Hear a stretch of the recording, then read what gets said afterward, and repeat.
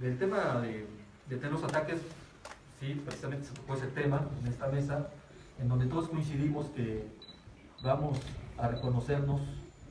y vamos a dialogar en términos de respeto, eh, no denostando, porque incluso es una parte importante que nuestros estatutos tienen determinada, que entre eh, militantes y cartel de Morena eh, no se permite el denostar a los compañeros.